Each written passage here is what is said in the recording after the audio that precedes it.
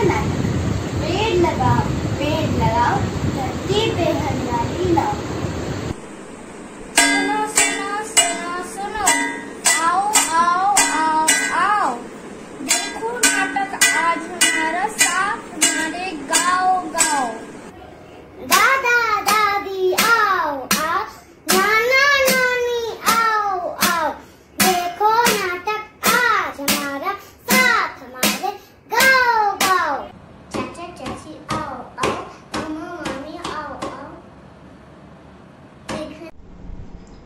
आज हम भी जिसमें स्कूल के छात्र मिलकर एक नाटक खेलेंगे, जो कि पौधारोपण पर आधारित होगा।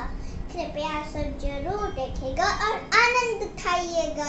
क्या हुआ भैया?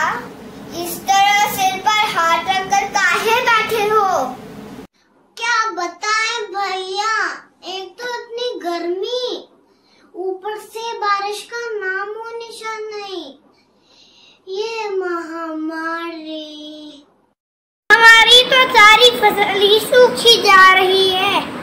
हम तो घर से बाहर भी नहीं निकल सकते। अपना काम करें तो कैसे करें?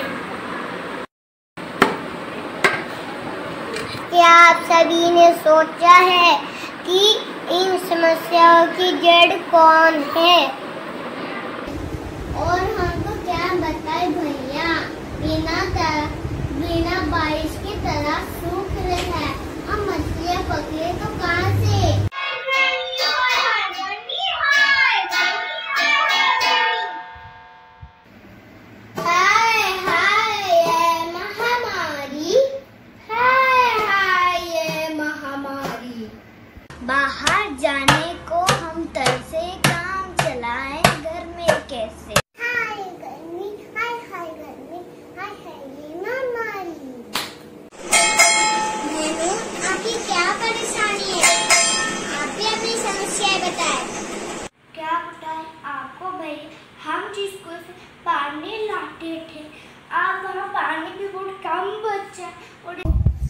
और इस कोरोना महामारी की वजह से बार बार हम स्कूल में जा भी नहीं सकते। हम बहनों में पानी के लिए हर रोज झगड़ा होता है। घर में बंद बच्चे बहुत परेशान हैं इस गर्मी घर से लेकर बाहर तक सब काम रुका हुआ है इस महामारी के कारण हमारी तो सारी फ़सल ही सूखी जा रही है हम बाहर भी नहीं निकल सकते अपने काम करें तो कैसे तो तंग कर रखा है। ऊपर से ये महामारी। इन सबसे निपटे तो कैसे? हाय हाय गर्मी हाय हाय ये महामारी। हाय हाय ये महामारी।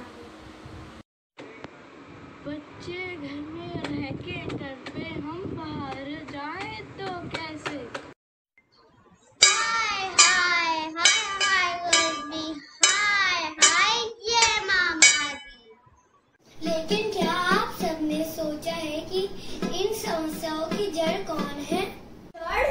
गर्मी और बारिश का ना होना भैया और क्या? जरा सोचिए कहीं हम तो जिम्मेदार नहीं इन समस्याओं के। शायद हम भी कहीं ना कहीं जिम्मेदार हैं क्योंकि एक भी पेड़ नहीं लगाए जो था वो भी काट डाला। ये हमारी ही पापों की सजा है जो हमें मिल रही है। पेड़ों का ख्याल ना रखने से प्रकृति हमसे नाराज़ हो गई है। जब सब चीज़ें उपलब्ध थी तब हमने कदर ही नहीं की। हमने भी पानी व्यर्थ गवाया। जरूरतों के लिए पेड़ों को कटवा लिया। इन सब आपदाओं के हम सब जिम्मेदार हैं। ठीक से अगर देखें तो हम सब गुनहगार हैं। प्रकृति को चोट दिया। पानी की तक कदर ना की। सब कुछ था पास हमारे हमने उसको व्यर्थ गवाया। इन सब के हम सब जिम्मेदार हैं तो हैं। लेकिन भैया अब बताओ क्या किया जा सकता है? करना क्या है? अपनी गलतियों को सुधारना है और सभी लोगों को पेड़ लगाने हैं। तथा उनकी देखभाल करनी है। अब जो हो गया सो हो गया। अब आगे के लिए हम सब तैयार हो जाए। सब पेड़ लगाते हैं और बारिश की आवाज़ आती है। सब खुशी से गाने लगते हैं। हम सबकी तरफ़ से धन्यवाद।